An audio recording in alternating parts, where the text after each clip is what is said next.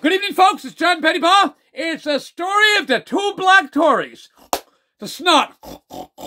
Yeah, Laurie Bushy. The snot. Lion Laurie. And it's the Pontius Pilate. The two black Tories, the devil incarnate, the witch herself. What did Claudette say one time? Just one. And Claudette, wonderful lady, and she said, a certain customer came in one time and didn't buy and said, Oh, she had a broom, she'd fly. And, Claudette wasn't prone to making off-color comments. She, she could say it in French English. If she had a broom, she'd fly.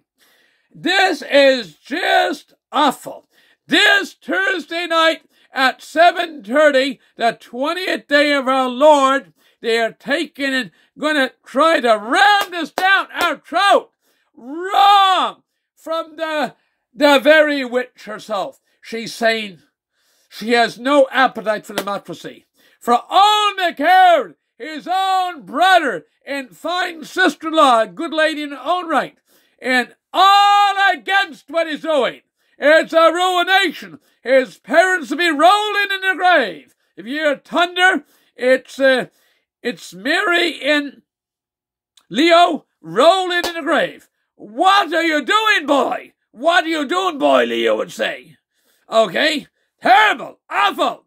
So it's it's just awful, awful, awful altogether what these people are are doing, trying to do on Thursday.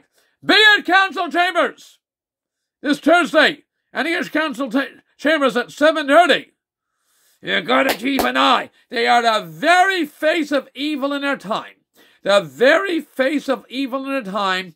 Less than, well, it's not even four weeks away from Remembrance Day, and what they're doing to trample democracy, it's unbelievable. I wish you all the best and God bless, and get out to the council chambers this Thursday night at Antigonish County Council on Beech Hill at 7.30 p.m. Thank you very much. All the best, and God bless. Thank you.